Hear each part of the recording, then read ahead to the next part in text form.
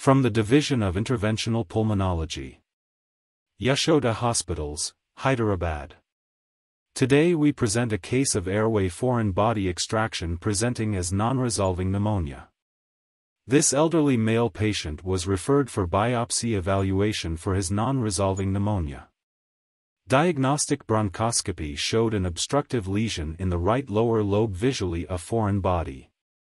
Using a Fogarty balloon, the foreign body was extracted into the proximal trachea, and was successfully removed using a basket.